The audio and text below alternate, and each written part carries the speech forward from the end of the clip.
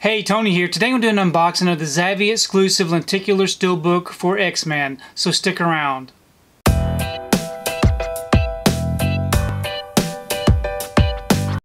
So today I received my order for X-Men. This is a Zavvi exclusive steelbook featuring the Blu-ray and a lenticular magnetic card.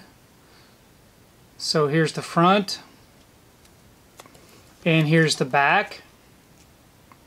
Now if you'd like to check out these special features, you can go ahead and pause and do so. I'm going to go ahead and remove this from the wrapper and we can take a closer look at this steelbook. Okay, I've got the wrapper off and the J card removed. Here's the front of the steelbook with the lenticular. Very nice. And here's the back. And then without the card, we do have a very nice embossed um, artwork on the front. Very detailed. I really like that. Then we open it up and we do have our Blu-ray disc.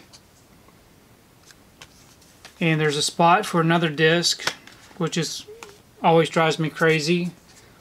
But we do have some inside artwork. And here it is all opened up. So a really nice looking steelbook.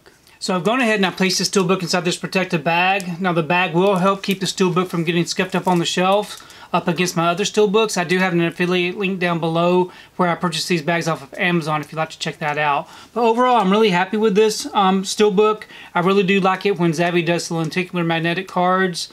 Um, it does add a little bit extra flair to the steelbooks.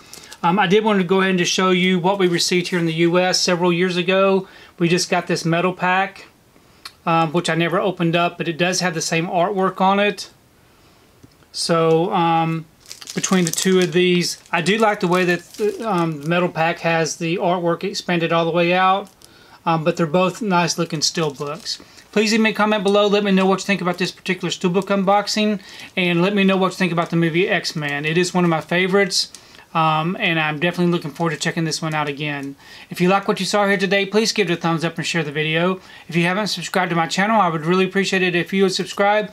If you do subscribe, please remember to hit that notification bell so that you can be notified every time I upload a new video. If you haven't found me on my social media accounts, I'm on Facebook, Twitter, and on Instagram. And if you'd like to find out what I've been watching, you can find me over on Letterboxd. I do have links below. But thanks again for watching, and we will see you next time.